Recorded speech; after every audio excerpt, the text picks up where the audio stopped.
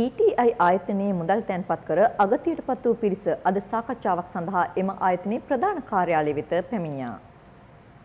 ETI අධ්‍යක්ෂ මණ්ඩලය හා තැන්පත්කරුවන් අතර අද පෙරවරුවේ බොරැල්ල ප්‍රධාන කාර්යාලයේදී සාකච්ඡාවක් පැවැත්වීමට නියමිතව තිබුණා.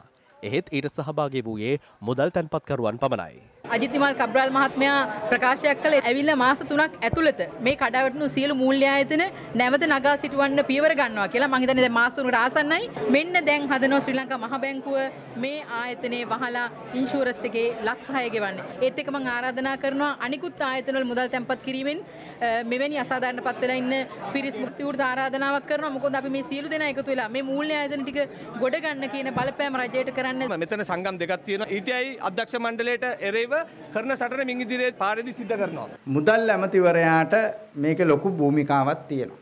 ඇයි ඒගොල්ලෝ සිටගත යුත්තේ සුළු පිරිසක් හෝ කොල්ලකරුවන් පිරිසක් එක්කද මේ තැන්පත්කරු 24000 එක්කද කියලා තීරණයක් ගත යුතුයි.